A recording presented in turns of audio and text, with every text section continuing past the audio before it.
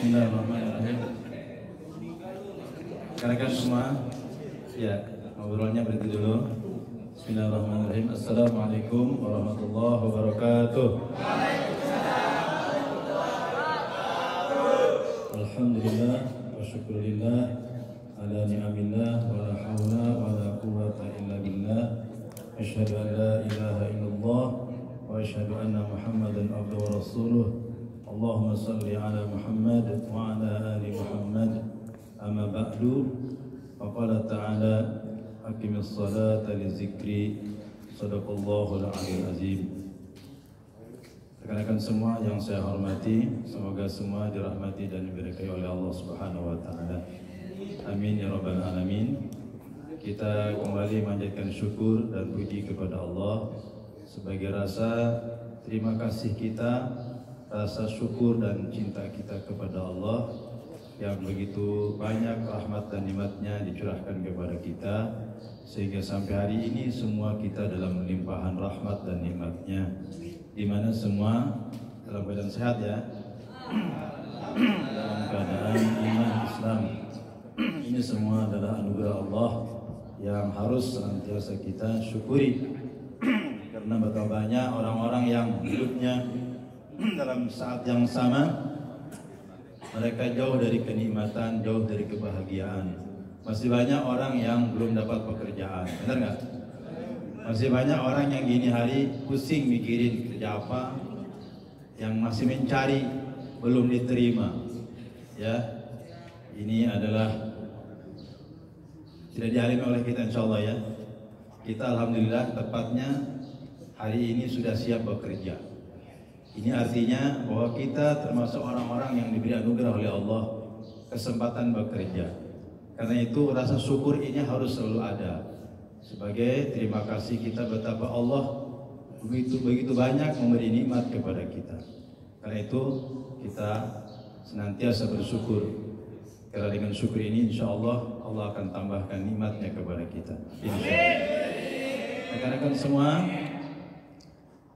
Kali ini saya ingin bahas tentang salat karena ini adalah merupakan amalan utama yang akan menentukan kehidupan kita, keselamatan kita dunia dan akhirat. Menurut Nabi salat itu nanti yang pertama akan dihisab adalah salat kita. Di akhirat nanti kan amal kita dihisab kan, diperiksa oleh Allah. Salat kita baik atau tidak? Kalau baik, maka insya Allah amal yang lain pun baik. Kalau tidak, maka amal yang lain pun tidak baik. Kata Rasulullah, awalu ma yuhasabu bi abdi yaumil qiyamah as-salat. Pertama sekali awal amalan yang dihisab oleh Allah pada hari kiamat adalah tentang salat kita. Karena itu salat ini harus menjadi perhatian penting. Bukan hanya di akhirat nanti, di dunia ini pun salat ini menjadi penentu bagaimana kehidupan kita itu bisa dipengaruhi dan ditentukan oleh sejauh mana nilai, nilai kualitas sholat kita. Semakin baik sholat kita, maka insya Allah kehidupan kita semakin baik. Kenapa? Karena sholat ini adalah salah satu, salah satu sarana kita untuk menghubungkan kita dengan Allah. Untuk menyatukan kita dengan Allah, menjalin kebersamaan dengan Allah. Sehingga ketika sholat ini semakin baik kita lakukan, maka semakin baik pula kebersamaan kita dengan Allah. Semakin baik pula kehidupan kita. Kenapa? Karena tentu kalau orang selalu bersama Allah, dia akan selalu dibimbing oleh Allah, dituntun oleh Allah, dimudahkan oleh Allah, dipenuhi hajatnya oleh Allah Subhanahu wa taala. Rekan-rekan semua, ada yang tahu? Boleh saya tanya ya? Ada yang tahu pengertian sholat itu bang? Ada yang tahu nggak? Barangkali ada yang dari pesantren gitu. Hah? Oh, baik. Sekitar mengingatkan kembali, sholat secara lugoh atau secara bahasa ad-doa. Apa? Ad-doa. Artinya doa. Maka dalam sholat itu kan banyak doa ya. Dari mulai kita uh, baca doa iftitah, terus doa surat al-fatihah ayat dan kemudian rukun sujud itu semua rangkaian doa-doa Ya. Yang doa itu di antaranya kan pujian kepada Allah. Abdul doa, alhamdulillah kata Rasulullah. Doa yang paling utama adalah alhamdulillah. Terus semua doa dari mulai ihdinas dari surat? Surat Al-Fatihah ihdinas siratal mustaqim itu doa. Waktu kita duduk antara dua sujud juga doa kan? Rabbi firli warhamni apa enggak? Coba baca. Rabbi firli warhamni wajurni warfa'ni warzuqni wahdini wa'afini wa'afani. Itu doa. Itulah pengertian daripada sholat menurut bahasa. Jadi bagaimana kita dalam sholat ini banyak berdoa kepada Allah Subhanahu wa taala. Menurut istilah ulama fikih, sholat itu adalah aqwalun wa af'alun muftatahatun bit takbir wa muhtatamatun bit taslim. Ada apa? Pokoknya itu ya. Ialah af'alun perbuatan atau pekerjaan wa aqwalun dan ucapan-ucapan yang diawali dengan takbir dan kemudian diakhiri dengan salam. Itulah sholat. Ucapan maksudnya ya kalimat-kalimat yang kita baca, takbir ya kan, Fatihah, itu kan ucapan-ucapan. Af'alun, af'alun ya gerakan-gerakan. Mulai angkat tangan, takbiratul ihram, ruku, sujud dan seterusnya itu adalah gerakan perbuatan-perbuatan anggota tubuh. Ya, yang diawali tadi oleh apa tadi takbir Allahu Akbar maka takbir ini menjadi rukun ya. Selain tadi niat tentu saja. Kemudian tadi diakhiri dengan salam. Itulah sholat. Maka kalau ada orang sholat nggak pakai takbir itu tuh dia nggak sah. Atau ada orang sholat selesainya nggak pakai assalamualaikum. Tiba-tiba main ngeluyur aja. Ya nggak sah sholatnya ya. Itulah pengertian daripada uh, definisi atau makna daripada sholat. Rekan-rekan semua, yang harus kita pahami sholat itu terdiri, terdiri daripada syarat dan rukun, ya kan? Secara fikihnya, secara fikihnya itu ada syarat dan rukun, ya kan? Dalam hal ini harus ada niat, ada takbiratul ihram, baca fatihah, rukun sujud, yang termasuk daripada rukun-rukun sholat secara fikih ya. Nah, namun yang tidak kalah penting dalam sholat ini bukan hanya sekedar sekedar kita laksanakan memenuhi secara fikihnya. Namun yang penting lagi adalah sholat yang merupakan hakikat sholatnya adalah bagaimana kita dalam sholat ini melakukan dengan khusyuk. Apa? Khusyuk. Apa itu khusyuk? Ada yang tahu? Nah, rekan-rekan semua, ini penting nih. Ya. Karena kalau hanya paham secara fikih tapi secara kehusuannya tidak ada, sholat ini menjadi berat. Sehingga banyak orang yang paham tentang sholat tapi nggak sholat. Banyak orang Islam yang ngaku Islam tapi nggak sholat. Banyak. Padahal dia paham, dia tahu sholat itu wajib. Tahu dia syarat rukunnya tapi nggak sholat. Kenapa? karena tidak ada kehusuan di hatinya. Ini yang yang membuat dia tidak sanggup melakukan sholat. Maka kata Allah wa innaha lakabiratun illa alal khosyin.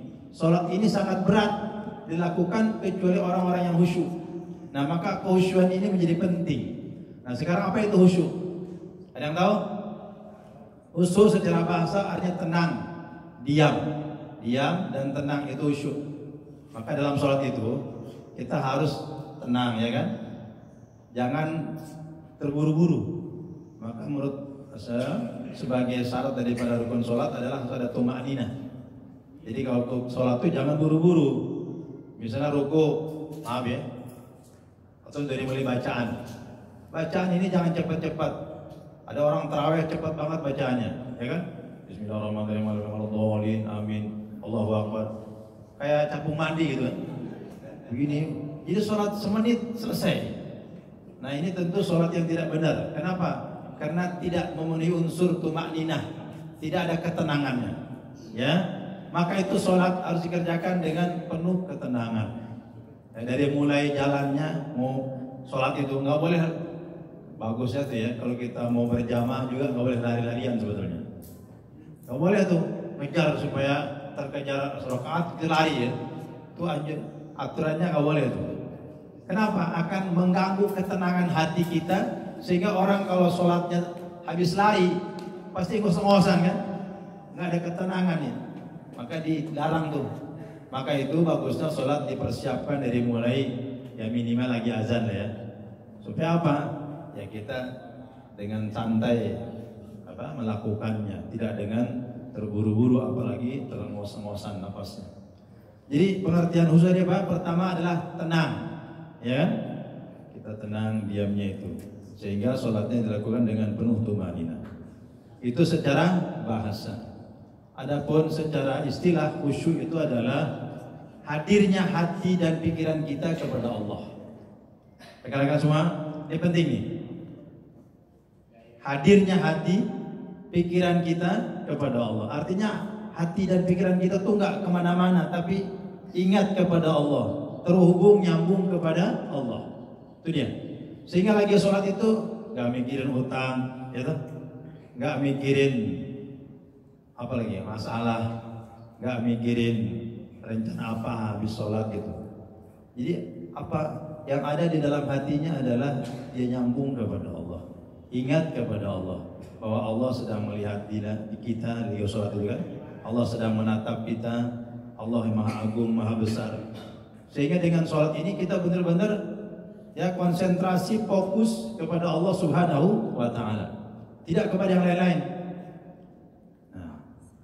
Rekan-rekan semua, maka dalam Al-Quran Allah menyuruh kita sholat itu kata Allah akimis sholata li zikri.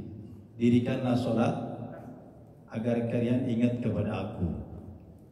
Maka dalam sholat itu hendaknya hati kita ingat kepada kepada Allah jadi jangan sekedar gerakan saja gerakannya kita ruku sujud tapi hatinya kata orang Sunda ke mana mandi tahu ke mana mandi ngawur ke mana-mana gitu? bahkan lupa kepada Allahnya. Nah ini yang buat sholat tidak benar nih. Ya sehingga kadang-kadang lupa rokaatnya kan, lupa rokaatnya udah berapa nih? Kenapa? Karena tidak ada kehusuan. Nah rekan-rekan semua, dalam Al-Quran Allah mengatakan pada abrahal mu'minun alladzina hum fi salatihim khashi'un. Sungguh beruntung orang-orang yang beriman. Orang iman yang mana? Alladzina hum fi salatihim khashi'un yaitu orang-orang yang sholatnya khusyuk. Kita semua nih tidak akan merasakan kenikmatan sholat kalau hati ini belum khusyuk kepada Allah. Ya? Sehingga tadi itu berat sholat ini kalau hati kita masih jauh ya masih belum nyambung kepada Allah. Nah maka itu karena itu rekan-rekan semua ini harus menjadi perhatian kita agar sholat ini membawa kenikmatan sehingga kita tidak berat lagi melakukannya maka kehadiran Allah di dalam hati kita, apa tadi khusyuk namanya, itu harus selalu ada. Ya, nah ini penting dan usahakan kalau bisa, bukan kalau bisa seharusnya ini. Khusyuan ini bukan hanya dalam sholat, tapi bagaimana juga setelah sholat. Sehingga Allah itu selalu ada di dalam hati kita. Ya, selalu ada di dalam hati kita. Kan orang itu tergantung apa yang diingat ya. Kalau yang diingatnya nih maaf, orang kalau yang di hatinya nih ya masalah yang diingat. Pasti hidupnya penuh dengan wajahnya itu wajah-wajah masalah kan? Karena yang dia ingat adalah masalahnya. Tapi kalau yang diingat Allah bahwa Allah bisa menolong masalah saya Allah bisa memberi rezeki bisa me, apa masalah punya hutang misalnya kan Allah pasti bisa melunasi hutang saya maka yang ada penuh hidupnya dengan penuh harapan yang ada dia hidupnya penuh dengan semangat kenapa di hatinya ada Allah yang membuat dia menjadi gairah, membuat dia hidupnya menjadi optimis. Tapi yang diingat yang aneh-aneh, yaitu yang nggak penting. Nah ini yang membuat hidup kita menjadi tidak baik. Kenapa? Yang diingatnya bukan Allah. Karena itu Allah menyuruh kita agar ingat kepada Allah sejatinya bukan hanya dalam sholat, tetapi di luar sholat pun kita ingat kepada Allah. Supaya apa? Supaya ini nanti ketika ingat sama Allah terus, ketika waktu datang sholat kita tidak berat lagi. Malah kita senang. Kenapa? Karena dalam sholat kita akan bertemu dengan Allah lagi. Ya, maka itu Allah nyuruh dalam Al-Quran ya ayuhalladzina amanu zkurullaha zikron katsira. Ya orang-orang yang beriman, ingatlah kalian kepada Allah dengan ingat yang banyak. Dalam ayat lain, fa idza qadaytumus salata fazkurullaha qiyaman wa qu'udan. Apabila kamu telah melaksanakan salat, hendaklah kalian ingat kepada Allah baik dalam keadaan berdiri juga dalam keadaan duduk, bahkan dalam keadaan berbaring.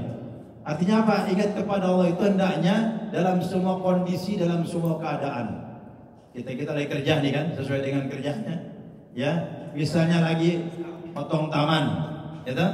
Bisa nggak ingat Allah lagi potong taman? Bisa. Lagi ngepel, lagi apa saja? Ingat kepada Allah itu hendaknya kita hadirkan, kita lakukan. Agar apa? Agar Allah selalu menyertai kita. Ya, dengan begitu maka insya Allah hidup kita akan bahagia, akan selamat, dan tentu akan dimudahkan urusannya oleh Allah. Kenapa? Karena kita selalu bersama Allah. Maka itu perbaikilah dari sholatnya ini, ya. Perbaikilah dari sholatnya, jaga sholatnya.